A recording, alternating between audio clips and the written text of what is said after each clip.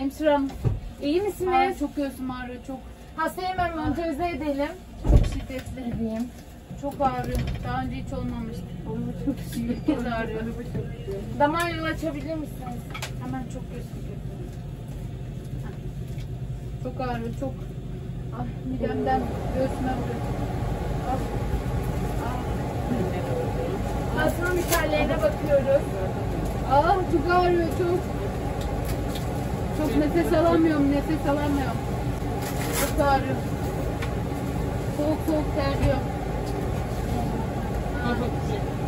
Damar yolu açıyoruz. Şekerine bakıyoruz. Ağrım çok 101. şiddetlendi. Kan şekeri 101. Bayılacağım. Hastanın ritmini değerlendiriyorum. Hasta inferior MI.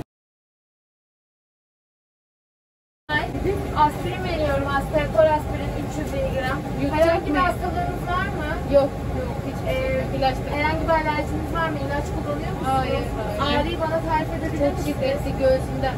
Bunu Çiğneyecek çiğniyorsunuz. Evet yutmuyorsunuz. Tamam, çiğniyorsunuz.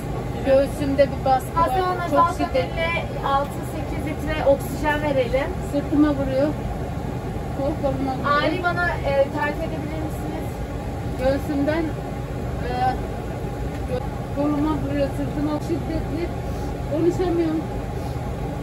1 ile 10 arasında değerlendirebilir on. şiddetini? Ol. Tamam.